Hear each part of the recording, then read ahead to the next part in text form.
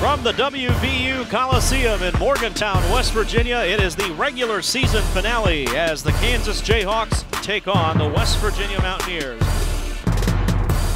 Activity in the offensive rebounding, which has improved the last month.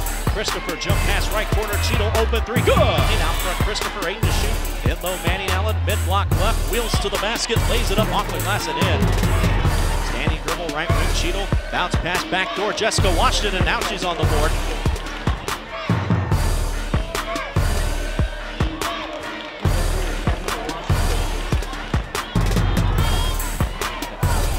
Drives inside, put it up off the glass, in and out, rebound Umeri, back up and in. Nice job by Sydney Umeri. Yo-yo's the ball. At the foul line, skips it low left to Umeri. Loses the ball, Manning Allen gets it. Brown, three-pointer, good. Jada Brown.